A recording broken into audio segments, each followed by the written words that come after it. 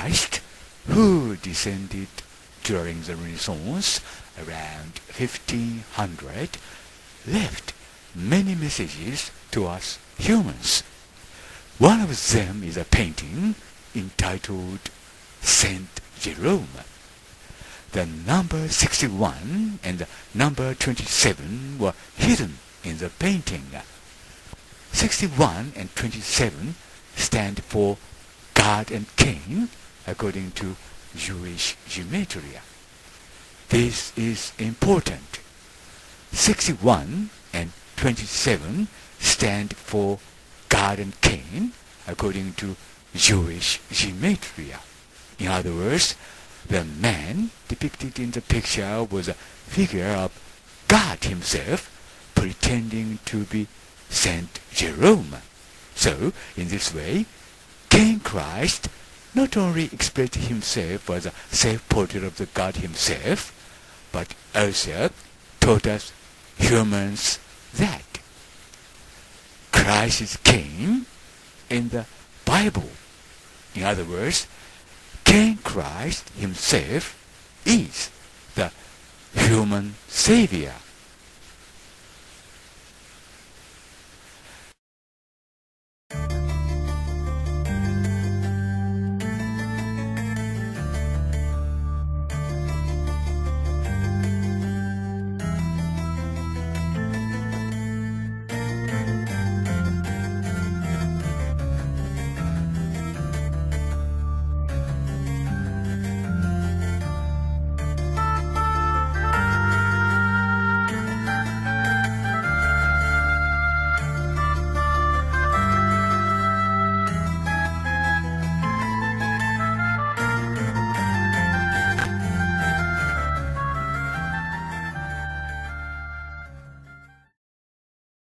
1500年前後のルネサンスの時代に降臨したカイン・キリストは数多くのメッセージを人間に残しました。その一つが聖ジェロームと題された絵画です。その絵画の中には61という数字と27という数字が隠し込まれていました。61と27はユダヤのゲマトリアによれば神とカインを意味します。ここが重要です。61と27はユダヤのゲマトリアによれば神とカインを意味します。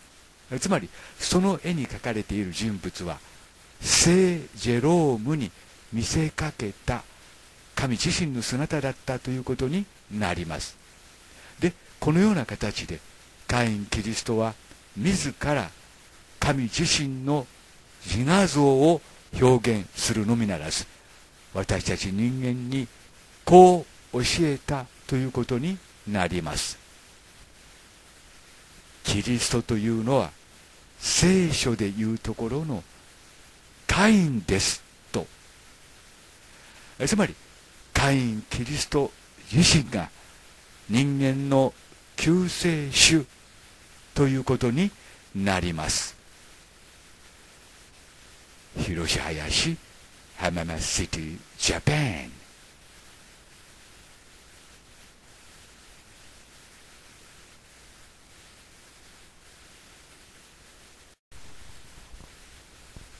もう一度最初から画面を見ながら説明します。一般にこの絵はですねレオナルド・ダ・ヴィンチが描いた絵とされまたこの絵はですね聖ジェロームを表現したものだと言われています。右下にですね白抜きのライオンが描かれているために聖ジェロームであるとです。でこの聖ジェロームの左上にはですね61という数字が隠し込まれていました。その姉妹作である東方三博士の礼拝の絵の中にはですね131という数字が隠し込まれていました、まあ、61だけを見るとですねそのようにも見えるかなというふうにお考えになる方も多いと思いますけども右のですね東方三博士の礼拝の中には131という数字がですね共に180度回転した状態で書かれています。でここで注意していただきたいことはですね書体が同じだということです。左は聖ジェロームなる絵の中に書かれている61です。右は東方三博士の礼拝の中に書かれている131です。1の書き方に注意してください。同じということですね。つまり聖ジェロームの絵の中には61という数字が隠し込まれていました。61というのはですねユダヤのゲマトリアで解読すると神神ということになります。つまりここに描かれているのはセント・ジェロームに見せかけた神自身の自画像ということになります。なります。ついでに言えば右の東方三博士の礼拝の中に書かれている中央の人物は一見すると赤子イエスを抱いたバージンマザーのように見えますがこれはバージンマザーイコールつまりはイナンナであるということをこのような形で、まあ、1500年前後にですねあの時代にフロレンスのフロレンスに降臨した神は私たち人間に教えたということになります。ここが重要ですからここでは特に左に注意してください。聖ジェロームに見せかけた。神自身の自画像であるということになります。61イコール神です。がそれだけではなかったんですね。この聖ジェロームの中にはですね27という数字が隠し込まれていました。27はですねユダヤのゲマトリアで解読するとカイン。カインとなります。もう一度この聖ジェロームの絵を見てください。足に注意してください。27となります、えー、72ということになるっていうふうにお考えの方も多いと思いますけども古代ヘブライ語はですね左右自由に読み書きできるようになっていました。ですから72は27と読み替え。27はカインとなります。同じ手法を使ってですねメケランジェロ・プラノティがですねカッシナの絵の戦いの中にやはりユダヤのゲマトリアを使ってですね私たち人間にメッセージを残しました。この絵の中には7775027という数字が隠し込まれていました。77キリスト50ビブリカつまり聖書のそして27はカインです。つまりですねこの絵を通して1500年のあの前後のあの時代に現れたカインキリストはキリストというのは聖書というところのカインであるというメッセージを残したということになります。つまりこのメッセージもです。ねカイン自身が人間に直接与えたメッセージということになります。ここに書かれているメッセージと先のセント・ジェロームの中に書かれているメッセージを重ね合わせて考えるとですねつまりは神というのはカインでありそして私たちがキリストと呼ぶつまり救世主というのはですね聖書というところの救世主というのはカインなんですよというメッセージを残したということになります。そしてここが重要ですけどもこうした絵画はつまりは物。絵画というものイコール神の存在を直接的に示す物的証拠ということになります。今から500年前に神カインキリストはですねこの地上に降臨しこのような物的証拠を私たち人間に残したということになります。つまりカインキリスト神自身がこの地球上に現実的に実在するもっとはっきり言えば実存するという物的証拠をこのような形で絵画というもの物的証拠を通して私たち人間に残したということになります。そして左のセント・ジェロームの顔と右のアンドレア・デル・ベロッキョの顔は全く同じです。ただ年齢差はあると思います。左の方がより年を取っている右の方がより若いということになります。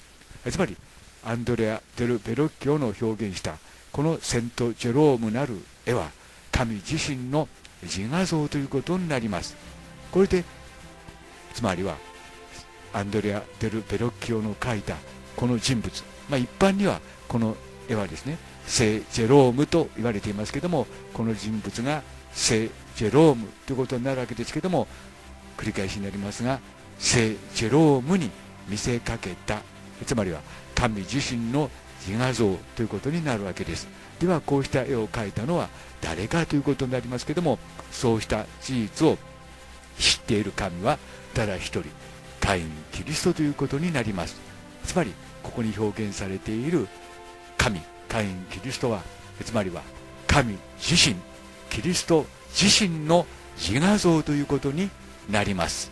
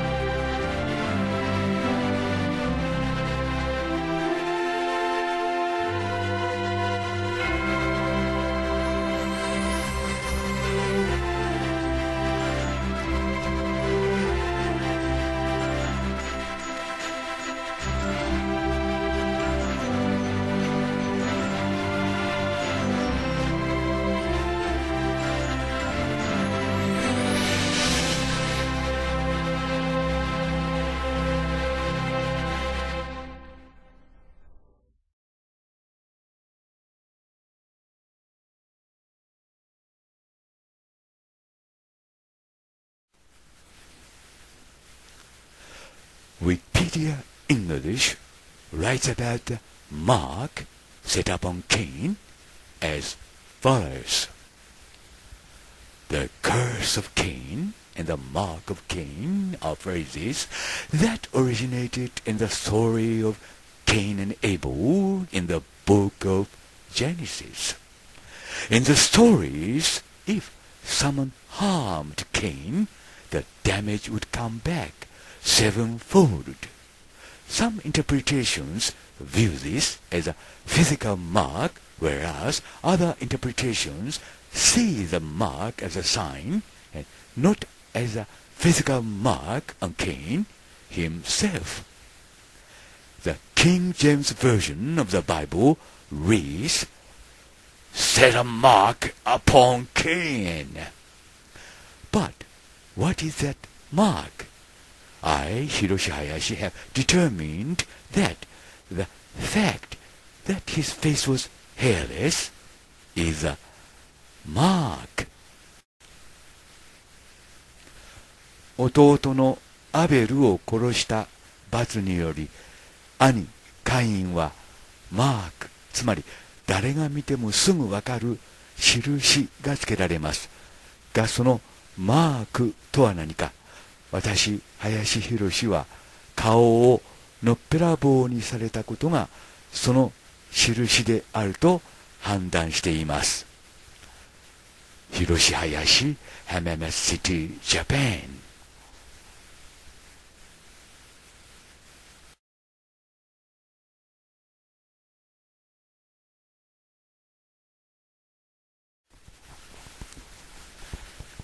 This is one of the most confusing mysteries about Leonardo da Vinci.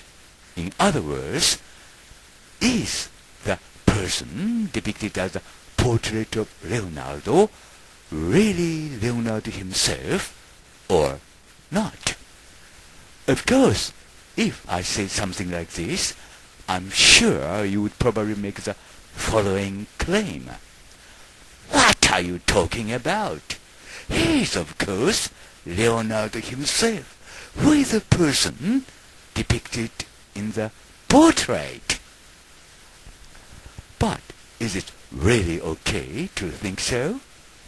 I, Hiroshi Hayashi, judge that the portrait of Leonardo is a combination of the faces of three gods. It is Leonardo da Vinci's face that has one eye, which is Marduk's eye, and Shama Jesus, whose beard attached to the face of King Christ. I repeat here again that it is Leonardo da Vinci's face that has one eye, which is Marduk's eye, Jesus, whose beard attached to the face of King Christ. In this way, King Christ, a painter who transcended time and space, represented Lord Iron, the eternal God. In other words, the portrait of Leonardo da Vinci, which we called Leonardo da Vinci, was a face of an eternal God that has united the three gods.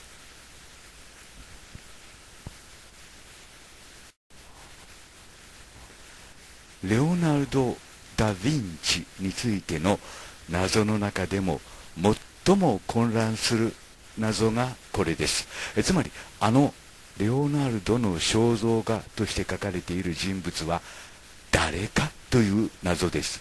もちろんこんなことを言うとおそらく皆さんはこう主張なさるだろうと思います。何をバカなことを言っているのだと。その肖像画に書かれている人物はレオナルド自身に決まっているではないかと。が本当にそう考えて良いのでしょうか。私林博はあのレオナルドの肖像画は3人の神の顔を合体させたものであると判断しています。カイン・キリストののっぺらぼうの顔に片目のマルドゥックの目そしてシャマーシュイエスのひげをくっつけたのがレオナルド・ダ・ヴィンチのあの顔であるとです。繰り返します。カイン・キリストののっぺらぼうの顔に片目のマルドゥックの目そしてシャマーシュイエスのひげをくっつけたのがあのレオナルド・ダ・ヴィンチの顔つまり肖像画であるとです。こうして時空を超えた画家カイン・キリストは永遠の神 Lord Aeon を表現しました。えつまり私たちがレオナルド・ダ・ヴィンチと呼んでいるあのダ・ヴィンチの肖像画は三人の神を三人の神を合体させた永遠の神の顔だったのです。広林ハメメシティジャパン。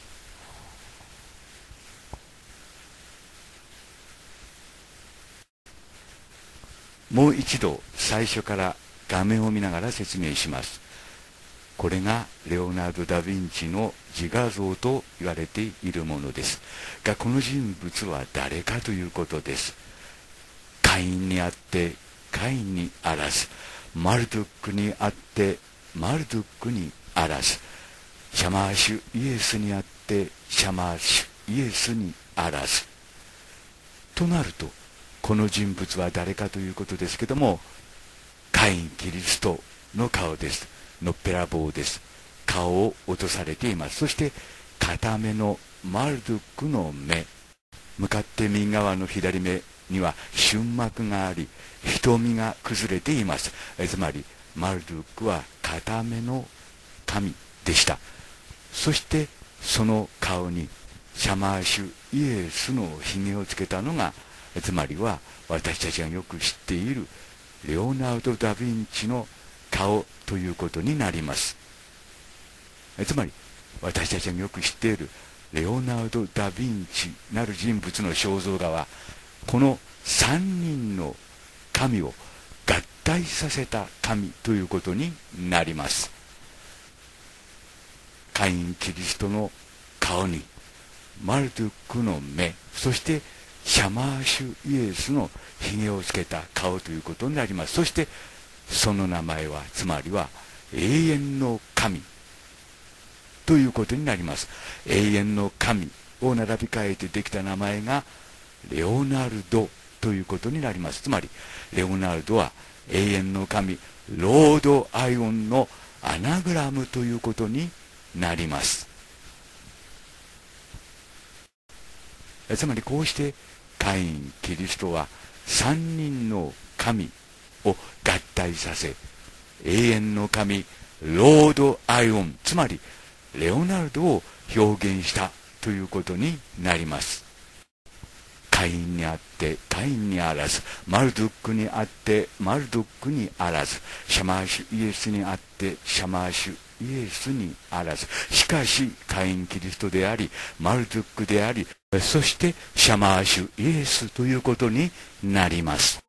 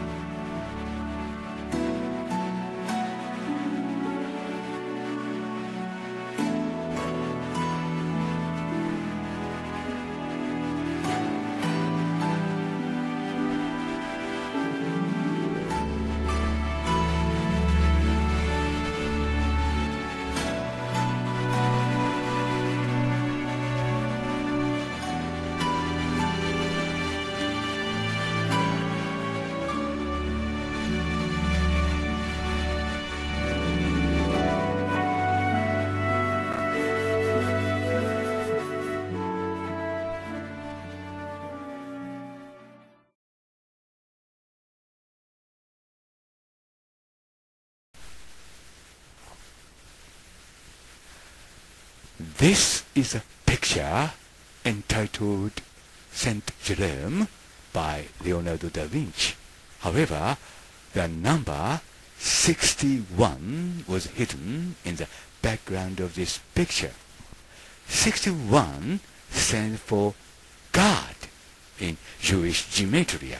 In other words, the person depicted here is God himself, a self-portrait of God himself. Uh, generally, this picture is entitled Saint Jerome because a white blank lion is drawn below, but this is also one of the tricky pictures. In other words, this is a self-portrait of God himself, drawn by God himself, being disguised as Saint ジェローム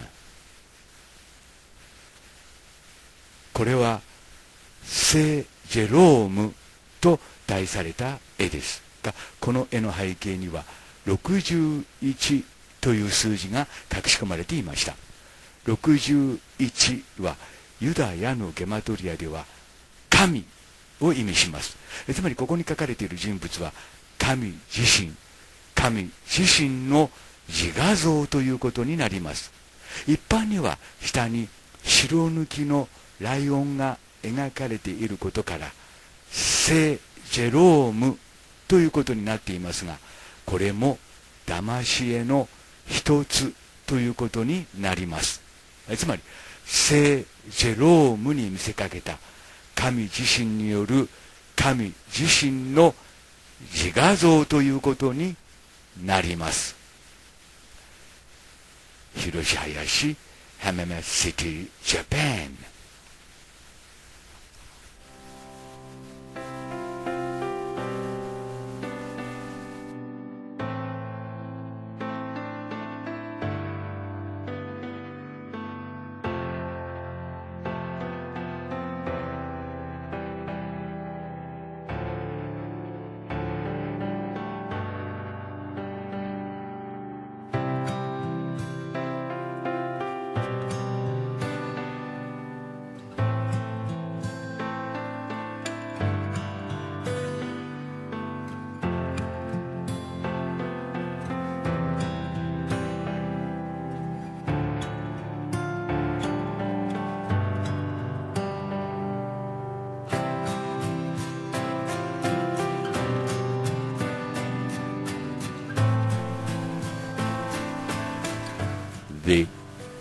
Original sketch of this is said to have been drawn by Michelangelo Buonarroti. However, in the sketch, it is written in code as Christ's biblical king. Number 775025 stands for Christ's biblical king in Jewish gematria. In other words, Christ is what the Bible writes Cain. If you release this painting, you will also find that there is a number 15 and 20. 15 is a sacred number of Inanna Maria and 20 is a sacred number of Shamash Jesus. What drawn here is Inanna on the left and Shamash on the right. However, what is written here was not only contrary to the doctrine of Christianity in the Middle Ages, but also unthinkable for anyone in common sense. Of course, Michelangelo himself, who is said to have painted this picture, had no way of knowing it. Everyone believed that the Savior is Jesus. However, in the painting, it was written that Christ is Cain in the Bible. Cain in the Bible. It writes that Cain, who killed his younger brother Abel with jealousy, is Christ. Then there's something important here I would like you to think about. In other words, who can write these words or such a serious confession? If you read these words again, and it is, Christ is King who killed his younger brother, and moreover, Maria is Inanna and Jesus is Shamash. If King himself wrote these wording, it will be a serious confession. There's no other person who can write such wording except King himself. Furthermore, I say here that it is only Cain himself who knows such a thing. In other words, it was Cain himself who painted the picture. There is no other God than Cain himself. Yes, Cain himself. Yes, that's right.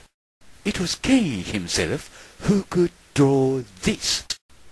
In other words, that is to say that this one single picture teaches the mystery of Christianity as a whole. At the same time, the series of paintings of all the works, including Leonardo da Vinci and Michelangelo's works, are the ones that King Christ left behind as messages to humans. King Christ is the greatest artist in the history on this planet, the Earth.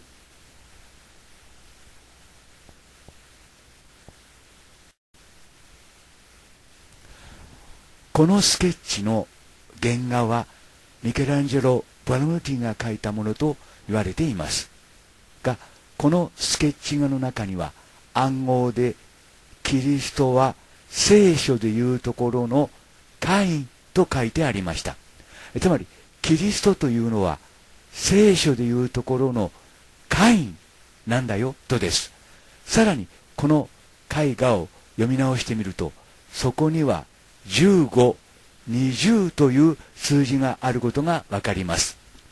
15はイナンナマリアの神聖数です。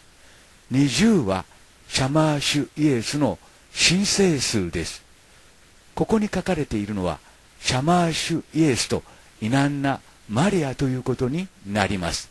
が、この内容は中世のキリスト教の教義に反するのみならず、一般の常識においても考えられないことでしたもちろんその絵を描いたとされるミケランジェロ自身も知る由もなかったことです救世主というのはイエスであると誰もがそう信じていたからですがその絵画の中にはキリストは聖書でいうところのカインと書いてあったのです。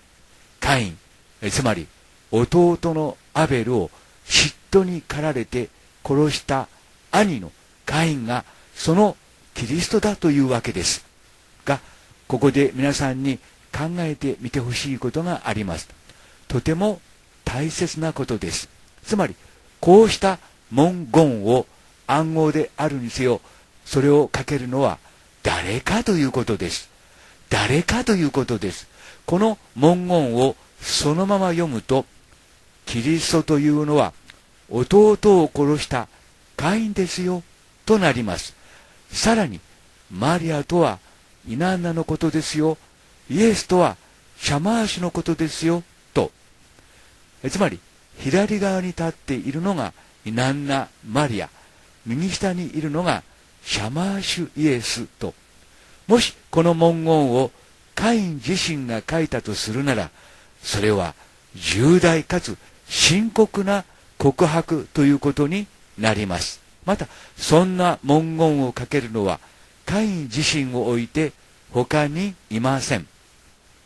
さらに言えばそんなことを告白できるのはカイン自身でしかないということになります。言い換えるとその絵を描いたのはカイン自身ということになります。他の神ではありません。カイン自身です。そうです。その絵を描いたのはカイン自身ということになります。えつまりこの一枚の絵がキリスト教全体の謎を教えていることになります。同時に一連の絵画を描いたのはカイン・キリストであったことを示しているということになります。ここが重要です。同時に一連の絵画を描いたのはカイン・キリストであったということを示しているということになります。ダ・ヴィンチやミケランジェロが書き残したと言われている作品は全てそのカイン・キリストが人間へのメッセージとして書き残したということになります。カイン・キリストこそがまさにこの地球上における最も偉大な芸術家だったということになります。繰り返します。カイン・キリストこそがこの地球上における最も偉大な芸術家だったということになります。広し林浜松シティジャパン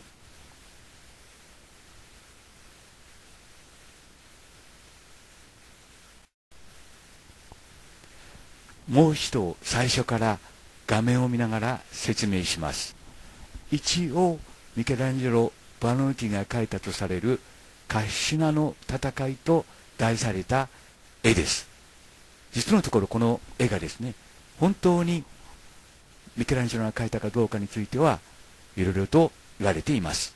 がしかし、まあ、そのスケッチ画のコピーが残っていたというわけです。でその中には775027という数字が隠し込まれていました。775027です。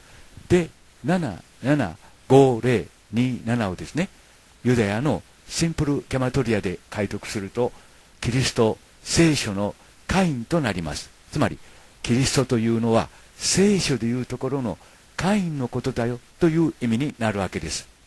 ここが重要ですから皆さん自身の目で確認してください。775027ですね。がそれだけではありませんでした。1そしてその下に5そして02と続きます。02は20と読み直します。古代ヘブライ語は左右自由に読み書きできるようになっていました。ともかく15はですね。イナンナ・イシタール・マリアの神聖数です。20というのはシャマーシュ・ウツつまりイエスの神聖数です。つまりこの絵の中には2つのメッセージが込められていたということになります。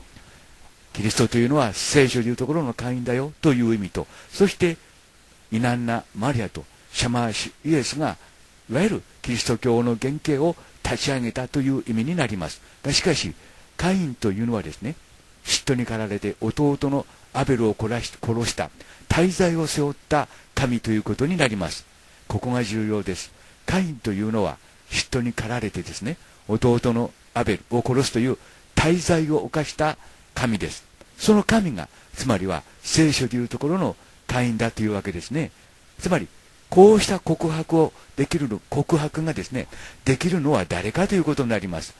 神の、いわゆるまあ根幹、キリストの根幹に関わる告白ができたのは誰かということです。つまり神自身だということですよね。で、みんなですね、カインの素顔、元の顔だと私は判断しています。弟を殺した罪によりですね、このカインは顔にマークをつけられます。一般にはマークと言われ、顔を落とされたとなっていますけれども、つまり、髭、髪の毛を落とされたということになるわけです。で、77をもう一度見てください。これは、シテナ礼拝堂天井、まあ、壁画のですね、最後の審判と題された絵ですけれども、そこには77という数字が隠し込まれていました。77は、ユダヤのゲマトリアによれば、キリストを意味します。つまり、これがキリストだというわけです。そして、このキリストがですね、つまり、カインであったというわけです。で、このカインに注目するわけですけども、カインは、カインには髭がありませんでした。そのことはですね、ゼカリア・シッチンの書いた Lost Book of Enki、エンキの失われた書の中に記述がありました。第8の粘土板の中にその記述が出てきます。2ページ目ですね。この下あたりにそれが書いてあります。会員には髭がなかった、髭のない会員がそこにあったと書いてあります。ここですね。で、拡大して読み直してみます。And the face of Cain on the right was beardless, and the face of Seti on the left with beard was. つまり、右側にいたカインの顔には髭がなかった。そして左側にいた瀬戸の顔には髭があったというわけですね。つまり、カインは弟を殺した罪によりですね、その上の神から、まあ、顔を、え、聖書の方ではファレン、落とされたとなっています。その落とされたという意味がですね、つまり、カインの顔ということになるわけです。まあ、当時ね、今もそうですけども、髭のない、髪の毛のない男というのは、大変あの地域においては目立つ存在であったわけです。まあ、誰が見てもそういう人間だったというわけですね。まあ、そういうことを念頭に置きながら、続く動画をどうかご覧になってください。レオナルド・ダ・ヴィンチの顔にまつわる謎を皆さんにも分かっていただけると思います。Bye for now.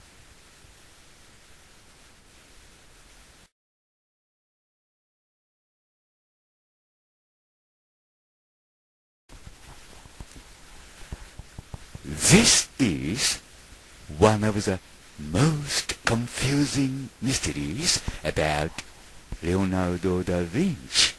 In other words, is the person depicted as a portrait of Leonardo really Leonardo himself or not? Of course, if I say something like this, I'm sure you would probably make the following claim. What are you talking about? He is, of course, Leonardo himself, who is the person depicted in the portrait. But is it really okay to think so? I, Hiroshi Hayashi, judge that the portrait of Leonardo is a combination of the faces of three gods. It is Leonardo da Vinci's face that has one eye, which is Marduk's eye, and Shama Jesus, whose beard attached to the face of King Christ. I repeat here again that it is Leonardo da Vinci's face that has one eye, which is Marduk's eye, and Shama Jesus, whose beard attached to the face of King Christ. In this way, King Christ, a painter who transcended time and space, represented Lord Iron, the eternal God. In other words, the portrait of Leonardo da Vinci, which we called Leonardo da Vinci, was a face of an eternal God that has united the three gods.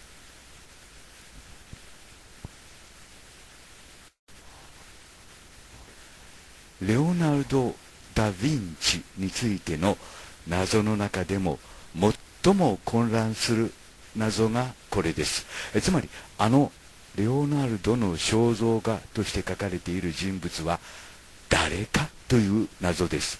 もちろんこんなことを言うと、おそらく皆さんはこう主張なさるだろうと思います。何をバカなことを言っているのだと。その肖像画に書かれている人物はレオナルド自身に決まっているではないかと。が、本当にそう考えて良いのでしょうか私、林博は、あのレオナルドの肖像画は、三人の神の顔を合体させたものであると判断しています。カイン・キリストののっぺらぼうの顔に、片目のマルドゥックの目、そしてシャマーシュイエスのひげをくっつけたのが、レオナルド・ダ・ヴィンチのあの顔であるとです。繰り返します。カイン・キリストののっぺらぼうの顔に、片目のマルドゥックの目、そしてシャマーシュイエスのひげをくっつけたのが、あのレオナルド・ダ・ヴィンチの顔、つまり肖像画であるとです。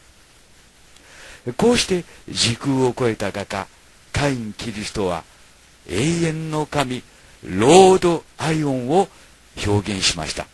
えつまり私たちがレオナルド・ダ・ヴィンチと呼んでいるあのダ・ヴィンチの肖像画は三人の神を三人の神を合体させた永遠の神の顔だったのです。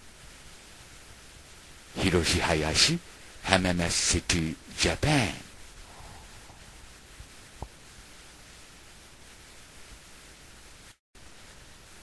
もう一度最初から画面を見ながら説明します。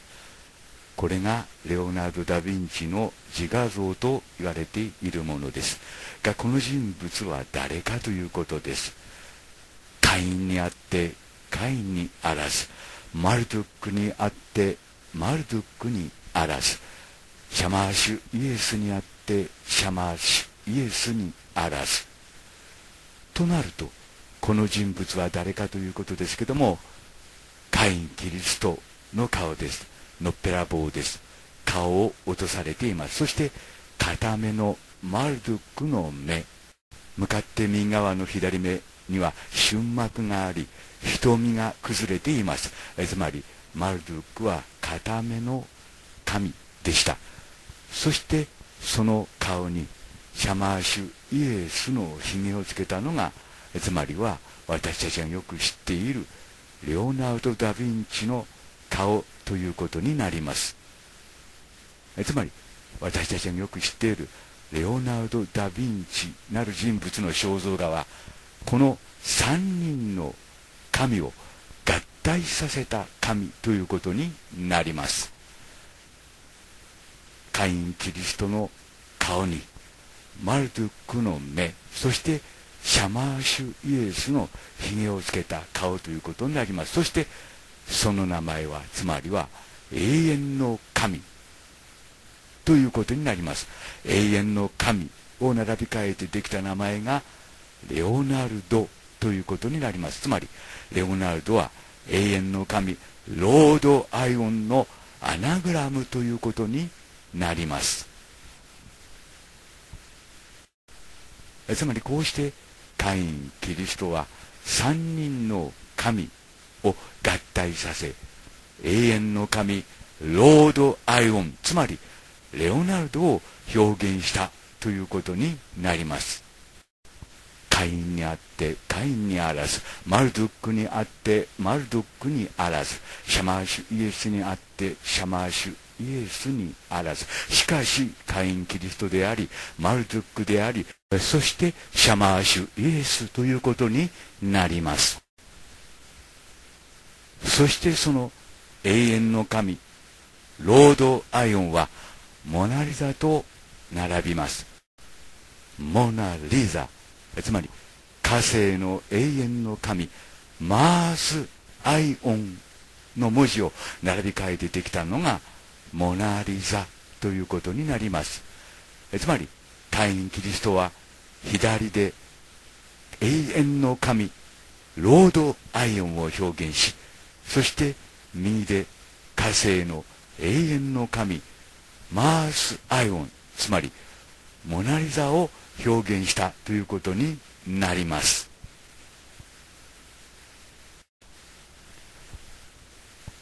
永遠の神レオナルド。火星の永遠の神。モナリザ。この2枚の絵を通して会員キリストは私たちに神の姿を見せたということになります。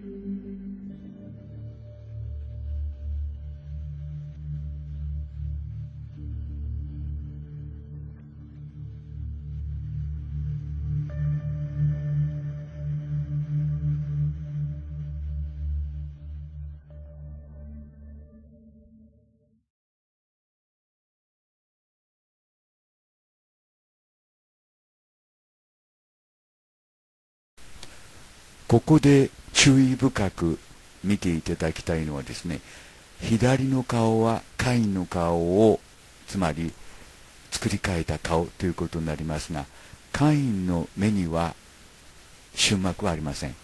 瞳も崩れていません。つまりこのカインの目にですねマルドックの瞬膜と潰れた瞳を書き加えたのがつまりはダ・ヴィンチと言われている人物の自画像ということになります。つまり、レオナルド・ダ・ヴィンチの自画像は、こうして加工して作られた顔だということです。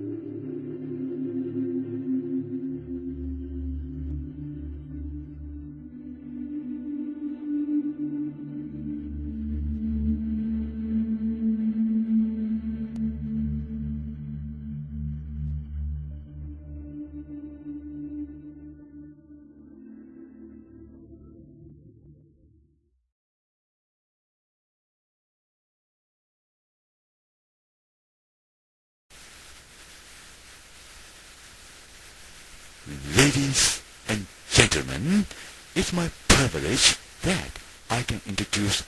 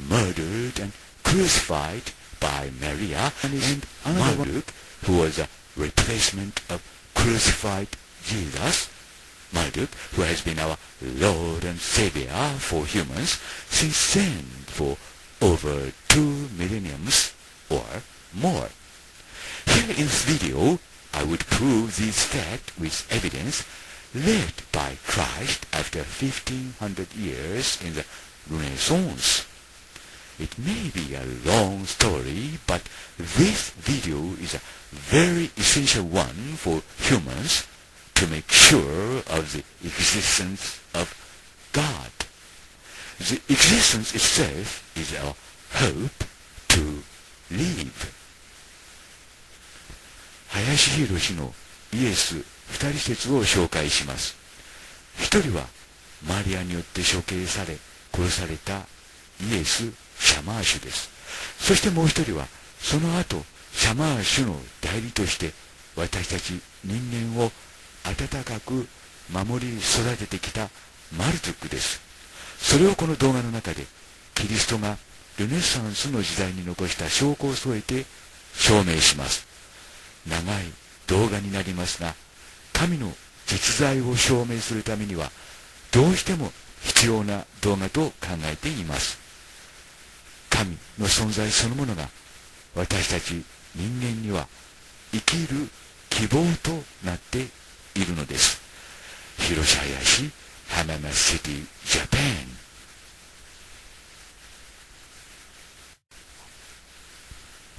イエス、キリスト、二人説です。今ご覧いただいている表の中で赤枠で囲った部分のみをこの動画の中で説明します。一人は十字架にかけられ処刑されたイエス。そしてもう一人は私たち人間の救済主キリストです。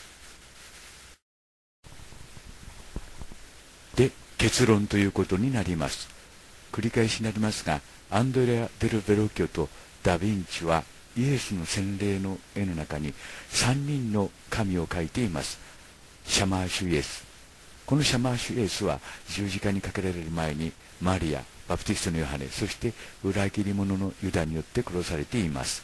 そしてその右にいるのがカイン・キリストということになります。このカイン・キリストの顔はミケランジェロがシセナ礼拝堂の壁画に書いている、まあ、いわゆるキリストですね。その下に77という数字がありますから、キリストの顔と一致します。そして、その上にですね、片目の鳥が描かれています。片目イコール片目の丸時計とつながっていきます。で、今ご覧いただいているのはカイン・キリストです。弟のアベルを殺したためにですね、まあ、このようなのっぺらぼうにされたというわけです。そしてこの顔にですね、片目のマルドックの顔が書かれました。そして左がですね、シャマーシュイエスのひげということになります。シャマーシュイエスは大変髪の毛のふさふさとしたひげの濃い神様であったと考えられます。そしてこの3人え、つまりですね、カインとマルドックと、そしてシャマーシュイエスの顔を合体してできたのが、その下のレオナルド・ダ・ヴィンチの顔ということになります。まあ、それぞれの細かい証明については、それぞれの動画をどうかご覧になってください。ともかくも、この左、とますか、この中央下のですね、この、えー、人物は、ロード・アイゴン、なわち、永遠の神、ロード、主、アイガン、永遠の神ということになります。その文字を並び替えてできた名前がレオナルドということになります。すなわち、レオナルドというのはですね、主なる永遠の神のアナグラムというわけです。で、これが結論ということになりますが、私たちが知っているダ・ヴィンチのこの肖像画はですね、カイン・キリストとマルドゥクと、そしてシャマーシュイエスの顔、つまりはイエスの洗礼の中に書かれている3人の神ということになりますけども、この3人の神の顔をですね、合体してできたものだということです。これがこの動画の結論ということになります。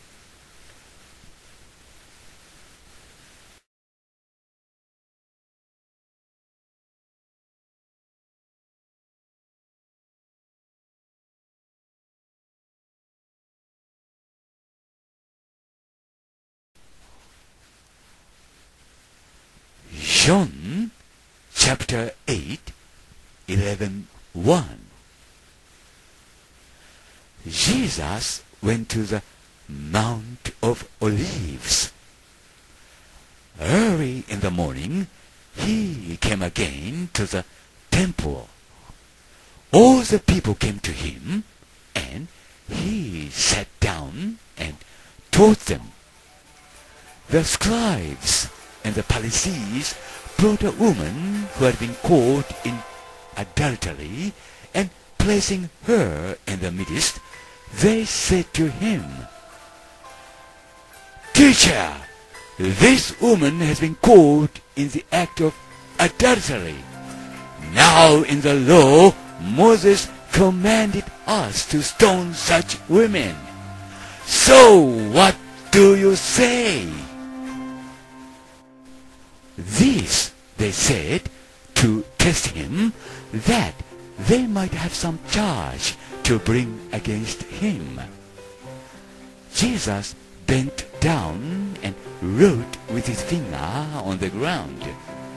And as they continued to ask him, he stood up and said to them, Let him who is without sin among you be the first to throw a stone at her. And once more he bent down and wrote on the ground.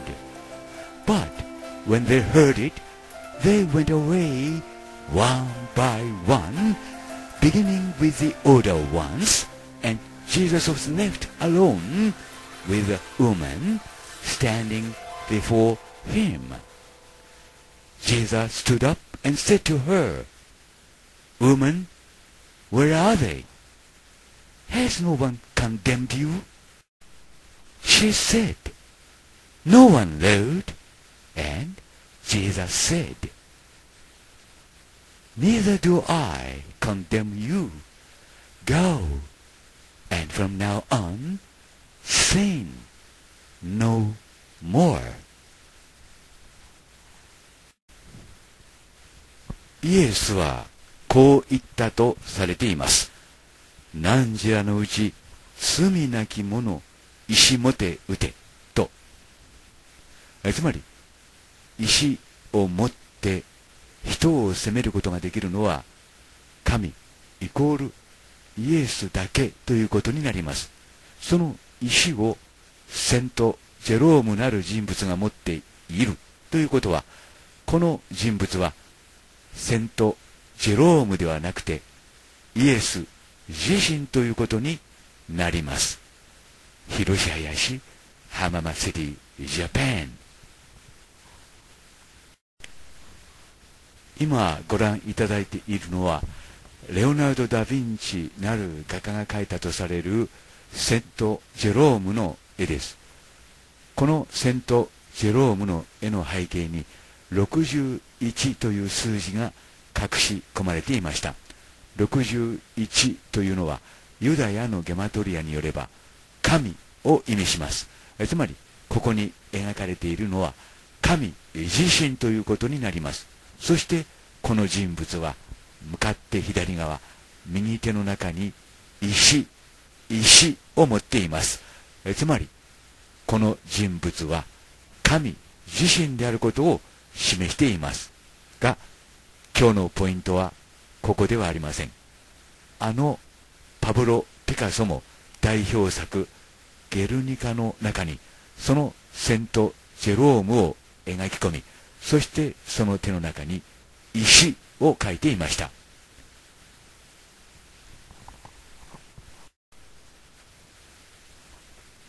パブロ・ピカソの代表作それがゲルニカです。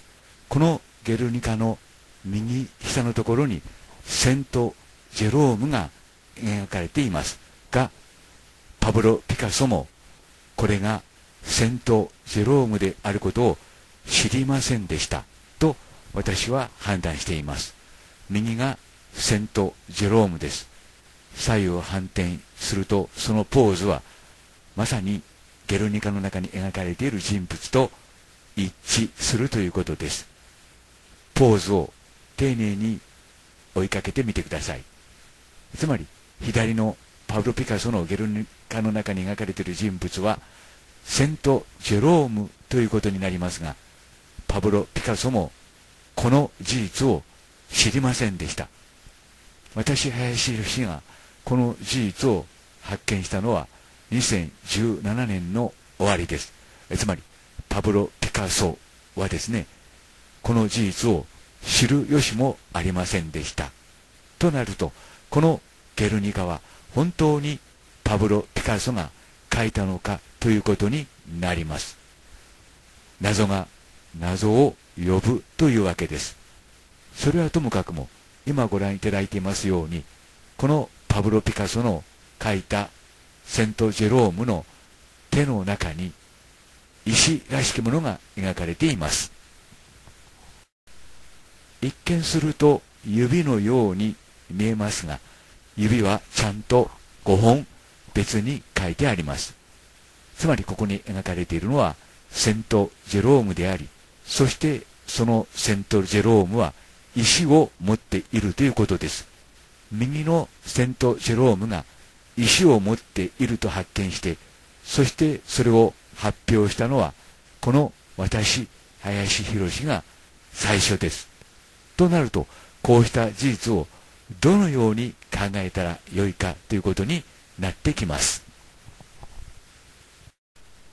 ともかくもここに描かれているセント・ジェロームなる人物はつまりセント・ジェロームを題にした絵ではなくてつまりは1500年後のイエス自身が自らの姿つまり自画像を書き込んだということになります。石持て打てる人物は誰か。つまりここに描かれているのは神自身ということになります。そしてその絵の背景には61つまりユダヤのゲマゲマトリアによれば神を意味する暗号が隠し込まれていました。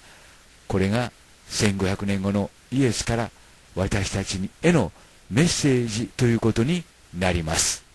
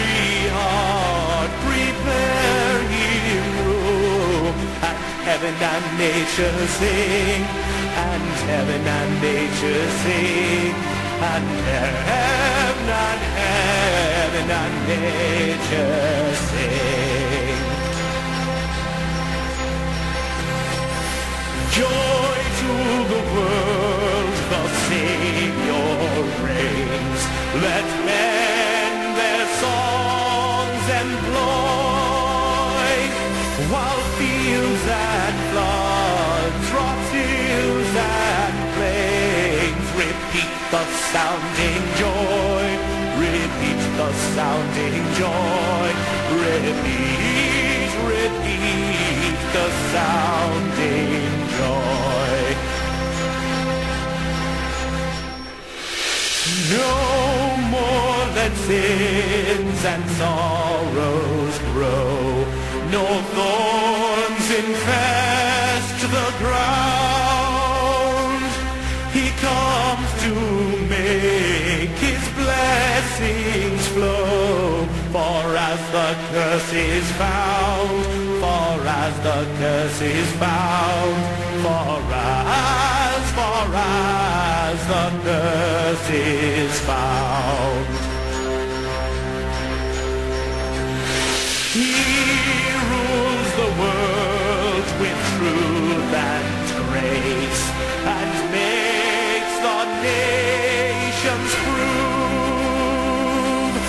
the glories